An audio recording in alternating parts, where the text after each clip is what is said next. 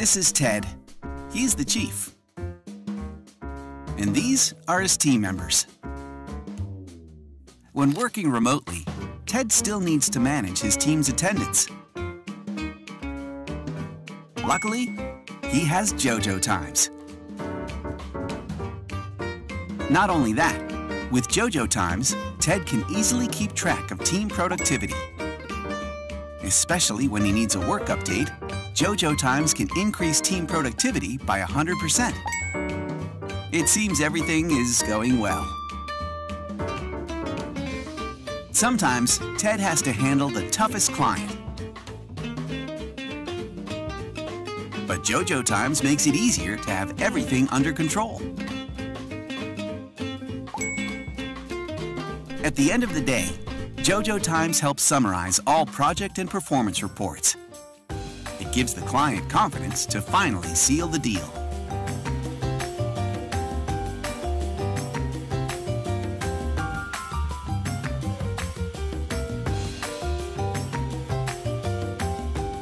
JoJo Times, the future of work. Now's the time to request leave. How about some relax time in Waikiki Beach? Halo, selamat sore. Saya Adi, Business Development Manager dari Jojonomic. Halo sore, saya Citra, Digital Acquisition Manager di Jojonomic. Uh, jadi sore ini kita punya sebuah topik yang kayaknya sebenarnya topiknya semua orang hari ini ya. Gimana caranya untuk bisa tetap closing sebagai sales bisa bisa kerjanya tetap kontrak selama masa pandemi. Menarik, menarik yang kita diskusin. Kalau Mbak Citra sendiri nih, kendalanya apa aja sih Mbak saat ini yang terjadi? Um, pertama tuh kendalanya adalah karena belum pernah ngalamin. Oke. Okay. belum belum pernah ngalamin uh, tetap kita harus running bisnis di situasi yang lagi kena pandemi gini. Mau nyari case tadi sebelumnya juga belum ada di internet ya bingung juga sih sebenarnya. Dan yang kebingungan saya sebagai sales tapi uh, customer juga sebenarnya merasakan hal yang sama. Itu sih kendala utamanya. Okay. Kalau dari sisi saya sendiri sih karena saya sebagai sales ya banyak nih klien-klien saya ini yang kehambat mbak proses untuk dealingnya mereka bilang kalau ya udah deh mas nanti aja tunggu pandemik ini udah beres aman ya kita baru ngobrol dan ada juga klien-klien yang punya budget besar tapi mereka malah wait and see hmm. mereka belum bisa kasih decision ke kita kenapa sih ya kan mereka masih ngehold dulu darahnya mungkin buat mereka bisa sustain gitu kalau dari sisi Mbak Citra, biasanya ngasih kalau customer udah ngasih feedback kayak gitu, apa sih tanggapan Mbak Citra? Yang pasti uh, kalau saya berusaha untuk tetap sustain juga dong. Mereka mau tetap sustain, kita juga mau tetap sustain jualannya. At least customer yang udah kepegang jangan sampai lepas dulu yes. gitu. Tugas utama seorang sales kan jualan, tapi sebenarnya jualan itu bukan kayak kita bener-bener eh beli dong, beli dong, beli dong kan enggak gitu kan jadi kita harus bisa uh, maintain relationship yes. uh, engagement sama customer ya jadi uh, ya kalau mereka lagi kebingungan kita juga bisa sampaikan uh, dengan honest gitu uh, jujur kita juga belum pernah ngalamin kan um, berbisnis dalam situasi pandemi seperti ini. Uh, dan empati juga penting. Karena uh, kita jualan sebenarnya mau ngasih solusi kan ke customer gitu. Jadi kita harus pertama care dulu dan sekarang jadi harus lebih ekstra care juga untuk bisa nangkep pain pointnya apa pasti berubah soalnya pain point yang dulu pain pointnya cuman dari uh, sisi misalnya customer pain pointnya apa sekarang akan bertambah lagi karena mereka ngejalanin bisnis juga akan mengikuti situasi yang ada sekarang. Oke. Okay. Gitu setuju banget uh, dengan pendapat Mbak Citra kalau misalkan ada klien-klien yang uh, mau nge-hold project-project dealing ya kita harus mesti punya empati ya Mbak ya iya. ke mereka ya kan kita mesti tetap dijalin relationship ke mereka tetap kalau dari saya sendiri sih uh, yang paling penting sebagai sales karena tetap ya sales itu pasti harus hit quota number saya tetap harus cari alternatif lainnya gimana sih caranya saya bisa uh, achieve uh, dalam kondisi saat ini. Yang paling pertama sih saya mesti memperbanyak leads. Setuju banget. Ya kan karena Kunci. ya namanya sales kalau nggak ada leads ya kan. kunci. Ya, your career is done seperti itu. Dan yang kedua, saya mesti mapping lagi nih uh, industri mana aja sih yang survive saat ini. Uh, jadi kita juga nggak barbar kayak dulu ya kan. Uh, yang penting dia suspek uh, prospek kita ya kan Oh, kita udah bisa oh, kayak gitu. dulu budget kayaknya ada udah hajar gitu kan. Benar, tapi kalau sekarang kita lebih mau analisis analisis lagi yang mana sih yang benar-benar qualified buyer?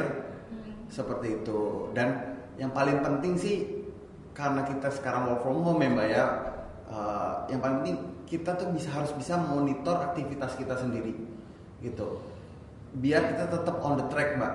Karena kita nggak bisa memungkiri kalau kita kerja di rumah memisahkan antara pe- pekerjaan dan rumah itu sulit mbak. Apalagi kita lagi kerja digangguin oleh keluarga atau segala macam seperti itu. Kalau mbak sendiri menyikapi uh, kerja di rumah WiFi itu seperti apa sih mbak? Ada tips and triknya nggak mbak? Awalnya awalnya nih awalnya WFH ih enak ya gitu. Iya enak ya di rumah bangun tidur eh, ya udah nggak harus berangkat juga sih bisa main dulu sama anak segala macam Eh, buka laptop meeting kadang meeting belum mandi juga kalau pagi. Ya udah lah ya meeting dulu gitu kan nggak kelihatan sama kliennya tapi lama-lama mulai kerasa nih ternyata beda loh eh, engagement langsung sama lewat Zoom, lewat Google Hangout tuh beda banget gitu. Dari sisi komitmen eh, komitmen orang yang diajak meeting kalau menurut saya itu juga ada perubahan. Hmm. Kalau dulu jarang tuh ada yang namanya cancel meeting itu Oke. asli itu jarang banget gitu. Kalaupun cancel pasti bilangnya tuh sehari sebelum gitu. Kalau sekarang kadang cancel on the spot enak banget kayak mbak sorry nggak jadi gitu. Oke. Mungkin karena orang kerasa ya lu di rumah ini gitu kan. Jadi di cancel mendadak nggak sakit lah ya gitu. itu sih kendala. Terus eh, kendala lain di eh, masa WFH ini adalah em, koordinasi. koordinasi Koordinasi. ya communication koordinasi itu sulit sekarang ya mbak Kalau dulu ya untungnya kita di tim sales tuh udah terbiasa untuk eh, remote ya. Untuk remote dalam arti kita tuh tiap hari nggak stay di kantor, tapi kita pergi ke tempat klien, meeting atau eh, kadang event gitu kan. Terus sekarang tiba-tiba semua divisi jadi harus eh, di Dirumahkan lah, dirumahkan koordinasinya dari jauh semua gitu. Uh, itu kerasa banget pasti untuk manajemen terutama. Oke Eh, dan kalau kita dulu di kantor ya kan respon time orang-orang operation ataupun segala macam divisi lain itu cepat mbak. Iya. Tapi kalau sekarang kita nggak punya pattern yang khusus buat eskalasinya. Eh, nggak ada acuan khusus buat namanya mungkin sekarang orang masih semua orang masih berusaha untuk adjusting jadi nemuin formula yang kira-kira gimana sih yang paling enak untuk koordinasi dari jarak jauh ini gitu. Yang pertama yang pertama nih yang dipakai karena ini kan zaman digital kan gimana caranya koordinasi antar divisi dan segala macam yang pertama kali itu pasti pakai WhatsApp. Yes. WhatsApp sini, WhatsApp sana gitu. Kadang-kadang tuh kerasa nggak sejak WFH notif WhatsApp jadi banyak, grup jadi banyak gitu Benar, kan. benar, benar. Tapi itu efektif apa enggak sih? Kalau menurut saya kurang efektif karena nggak ada parameter yang khusus bisa bisa nge-tracking Hmm. apa sih yang bisa kita solve bareng-bareng project apa sih yang bisa kita solve Jujur bareng-bareng eh, kalau koordinasi lewat WhatsApp pertama itu banyak banget yang suka skip, suka skip gitu kan. Eh, terus jadi ngalor ngidul gitu. Ini akhir karena WhatsApp itu fitur buat chat bukan buat kerja. Benar, jadi benar. awalnya mau produktif malah jadi counter produktif kadang-kadang. benar benar benar banyak juga obstacle-obstacle yang misalkan bos ngasih task ke anak buahnya karena kelelep semuanya jadi ke skip Iya. karena itu grup atau segala Hmm. macam jadi kita nggak bisa monitoring juga secara real real time apa sih yang lagi dikerjakan nih sama uh, tim kita ya kan yang lagi ada di rumah seperti itu. Nah kalau Mas Adi sendiri gimana sih caranya kayaknya timnya Mas Adi ini selalu on track gitu. Gimana caranya untuk maintain hmm, supaya tetap on track, nggak ke skip walaupun timnya itu lagi tersebar ke mana-mana dan lebih susah lagi buat ketemu sekarang. Oke, yang paling penting kita harus punya standarisasi kerja seperti apa, Oke. ya kan? Uh, kalau kita udah punya standarisasi kerjanya seperti apa, saya bisa ngasih tax assessment ke mereka-mereka dan saya juga di sini sebagai ngebantu mereka juga uh, project-project apa yang lagi mau close a deal Hmm. Biar mereka tuh bisa ngasih feedback ke saya dengan cepat, saya bisa kasih eskalasi ke tim engineering. Feedback dengan cepat. Benar, secara real time juga. Secepat real time. Dan kalau dari timnya Mbak Citra sendiri, gue punya balik kenapa? Hmm. Kalau dari timnya Mbak Citra sendiri, gimana sih eh, tadi eh, Mbak Citra buat koordinasi ke tim di saat-saat WFH kayak gini? Hmm. Kan banyak banget nih problemnya nih, ya kan?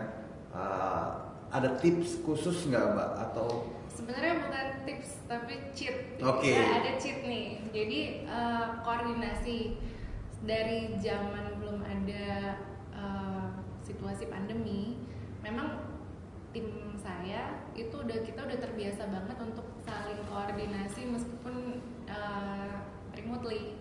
Karena nggak efektif banget. Kita udah ngerasa nggak efektif banget kalau pagi tuh harus grouping dulu di kantor, baru nanti mencar, nanti balik lagi. Jadi kita pakai absen digital. oke? Jadi mulai dari pagi nih tim saya dia tinggal jalan langsung ke klien. Eh, dari situ dia absen. Nah di absen tuh nanti saya tinggal cek aja tuh di handphone gitu. Oke. Oke nih si A nih misalnya dia lagi uh, visit klien yang ini gitu. Kayaknya ini udah visit yang kedua karena kan ngikutin terus ya. Oh lebih fleksibel jatuhnya ya. Iya, ya? karena udah ngikutin terus progresnya gitu. Jadi, oh agendanya ini meeting kedua misalnya. uh, jadi udah tahu dari dia meeting ke mana aja udah tahu udah sampai di mana sih stage Oke. stage sales stage-nya kan sales tuh ada prosesnya Benar. sales stage-nya itu udah sampai di mana di situ udah ketahuan gitu karena yang namanya anak sales itu sebenarnya kelihatannya mungkin nyantai tapi kita multitasking banget loh gitu kan karena dari nyari leads dari maintain leads dari follow up follow up tuh PR banget kan ya dari follow up sampai nanti kita bisa closing itu banyak banget proses yang kita kerjain Yes. yes. Nah, eh, akan bantu banget kalau kita tuh nggak perlu eh, pulang masih harus nge-report lagi. Kan nanti skip ya takutnya. Jadi Iya. kalau pakai aplikasi itu udah ada jejak digitalnya lah gitu. Jadi itu sih hacknya. Yes, menarik sekali ya Mbak ya. Jadi bisa monitoring semua aktivitas tim di lapangan, bahkan juga Mbak bisa lihat namanya eh, sampai mana progres-progresnya mereka, follow up lah atau second meeting segala macam. Penting banget koordinasi seperti itu apalagi sebuah tim. Kalau dari sisi saya sendiri, saya berkoordinasi langsung dengan pihak divisi lain, Mbak.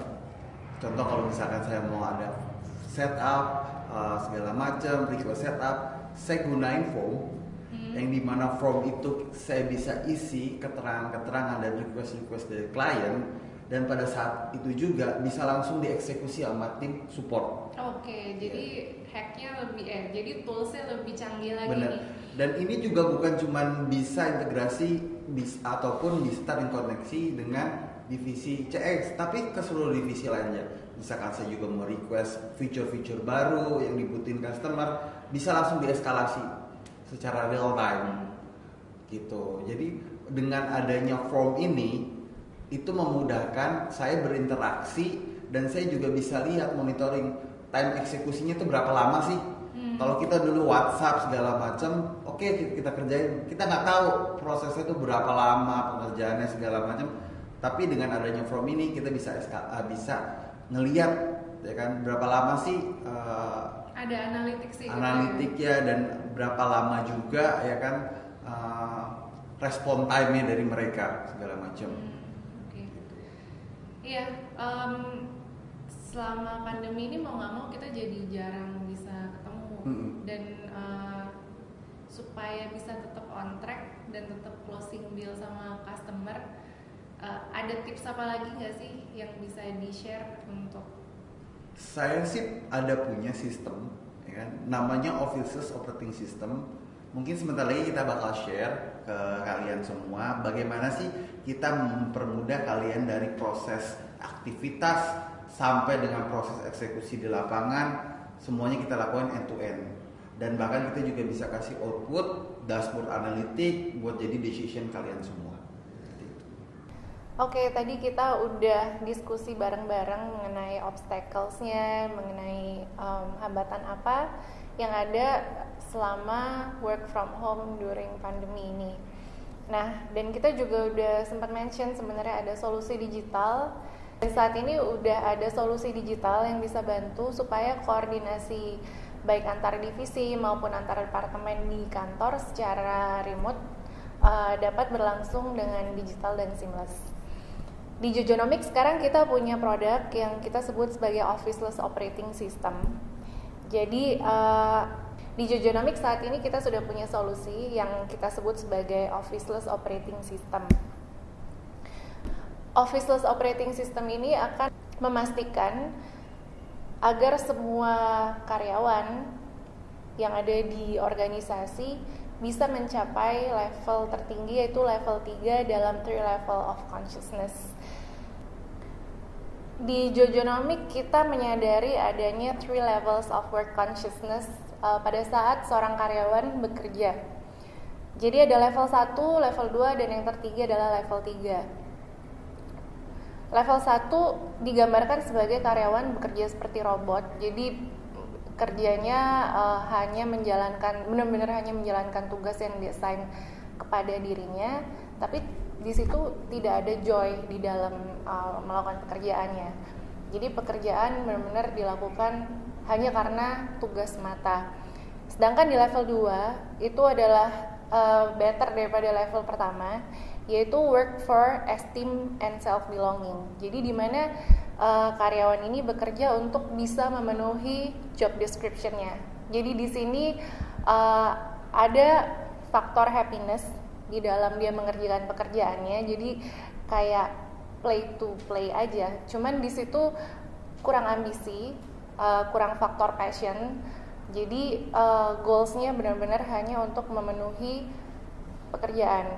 Namun di level tertinggi yaitu work to actualize di sini karyawan itu bekerja untuk memenuhi passionnya jadi kerja tapi nggak terlalu terasa seperti bekerja karena si karyawan ini akan merasakan uh, sebuah happiness saat menjalani pekerjaannya uh, dia play to win dan uh, pekerjaan tidak akan terasa seperti beban, tapi terasa sebagai ya menjalankan passionnya aja. Nah, bagaimana caranya supaya semua employee di tengah pandemi saat ini khususnya bisa berada di level 3 yaitu work to actualize.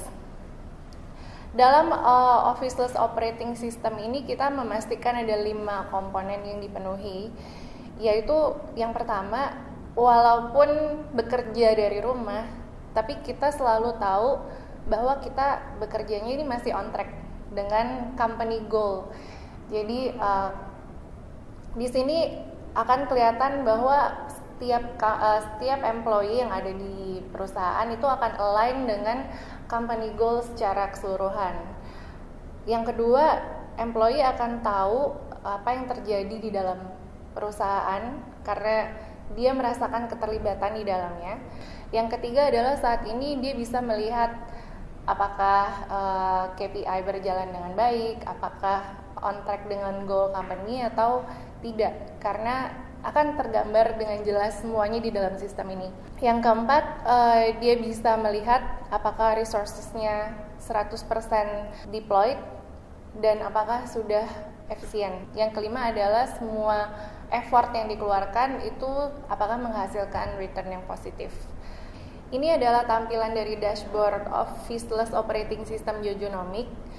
Dashboard ini fully customized, bisa menampilkan semua data yang dibutuhkan oleh manajemen. Jadi uh, apa pun kebutuhan datanya bisa disampaikan ke kita dan kita akan custom dashboardnya sesuai dengan kebutuhan spesifik setiap industri, setiap perusahaan, even setiap company yang ada. Pada tabel ini kita bisa lihat bagaimana setiap divisi, setiap um, tim dan setiap individu akan berkontribusi dan berpengaruh kepada keseluruhan operasional company sehingga setiap karyawan atau employee bisa selalu berkontribusi untuk mencapai goal company. Officeless Operating System ini menggunakan empat produk dari Jojonomic atau empat aplikasi yang dimiliki oleh Jojonomic yaitu yang pertama adalah Jojo Form. Jojo Form ini fungsinya untuk mendigitalisasi semua dokumen dan proses approval. Yang kedua adalah Jojo Times yaitu mobile attendance yang merupakan aplikasi untuk mencatat kehadiran karyawan secara digital dan real time. Yang ketiga, kita juga punya Jojo Task, yaitu mobile timesheet dan task management. Yang ini uh, merupakan aplikasi yang dapat digunakan untuk assign tugas kepada setiap karyawan. Dan yang terakhir adalah Jojo Dashboard, merupakan analitik dari eh, data-data yang ada di Officeless Operating System ini. Jadi di Jojo Dashboard semua data akan dimunculkan dan kita juga melengkapinya dengan built-in predictive dan artificial intelligence. Officeless Operating System dari Jojonomic ini yang pasti akan memastikan semua karyawan berkontribusi penuh untuk uh, memenuhi goals company dan tetap on track dalam pekerjaannya sehingga walaupun bekerja secara remote semua karyawan akan tetap merasa terengage dan tetap happy menjalankan semua tasknya. Oke, terima kasih uh, atas kehadirannya uh, sore hari ini.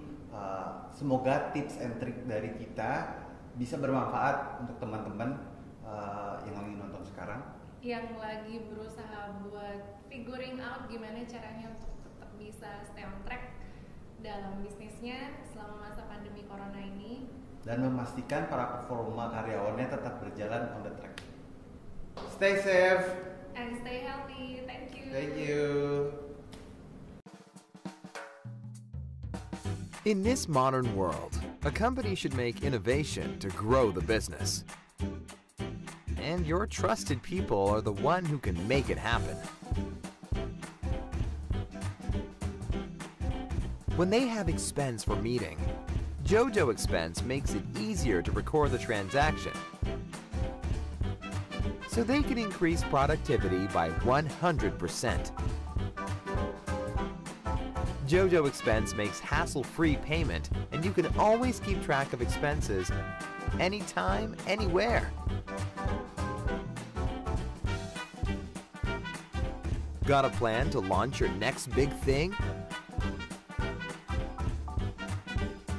JoJo Expense will help it run smoothly and save time by 70%.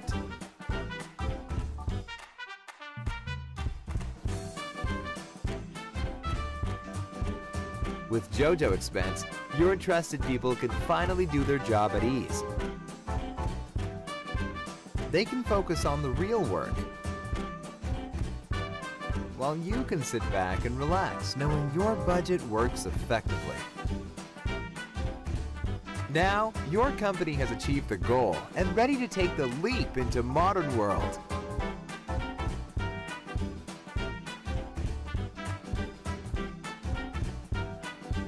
Change work to be paperless? Why not?